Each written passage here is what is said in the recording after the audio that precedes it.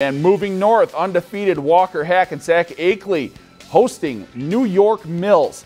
Just over four to go in the first quarter, no score. New York Mills on for the field goal, and Maverick Roberts, how about that name? Splits the uprights from 34 yards out. Eagles go up three.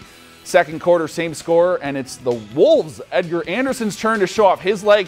He hits from 40 yards out, and we are tied at three. Later in the quarter, WHA's Kevin Smith connects with Anderson on the pass. He scampers here for the 13 yard gain. The drive would stall.